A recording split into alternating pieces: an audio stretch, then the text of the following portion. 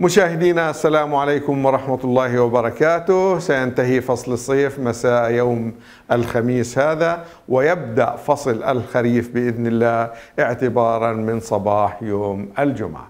فالاعتدال الخريفي يبدأ الاعتدال الخريفي يوم الجمعة 23 9 2022 يبدأ في تمام الساعة الرابعة وثلاث دقائق صباحا بتوقيت مكة المكرمة.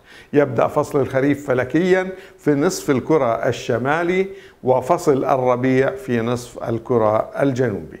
أيضا يتساوى في هذا اليوم الليل والنهار أو عدد ساعات الليل وعدد ساعات النهار في جميع أجزاء الكرة الأرضية تقريبا. وأيضا بعد هذا اليوم يبدأ طول النهار في نصف الكرة الأرض في نصف الكرة الشمالي يبدأ بالتناقص تدريجيا وطول فترة الليل بالتزايد أيضا تدريجيا.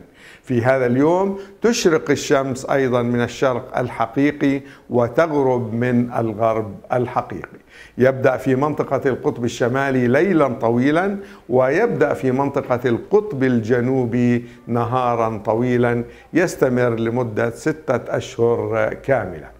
يستمر فصل الخريف فلكيا تقريبا 89 يوما وذلك حتى موعد الانقلاب الشتوي في 21 كانون أول ديسمبر المقبل.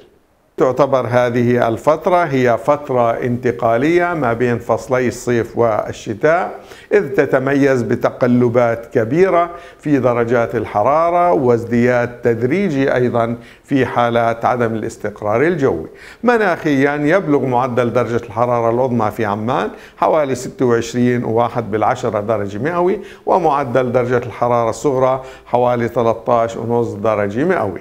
شهدت المنطقة أيضا في فصول الخريف السابقة حوالي 36 موجة حر كان آخرها في عام 2020 سجلت أعلى درجة حرارة عظمى في عمان بفصول الخريف السابقة حوالي 43 درجة مئوية وذلك بتاريخ 3 9 2020 سجلت أعلى درجة حرارة عظمى على مستوى المملكة في دير علة ووصلت حوالي 50 درجة واحد بالعشرة وذلك بتاريخ 4 9 2020 سجلت أعلى درجة حرارة عظمى في مدينة العقبة في فصل الخريف بتاريخ أو وصلت 48 درجة ونص بتاريخ 5 9 2020 سجلت أقل درجة حرارة صغرى في عمان 3.2 بالعشرة درجة مئوية تحت الصفر بتاريخ 24 11 عام 1958 سجلت أقل درجة حرارة صغرى في الأردن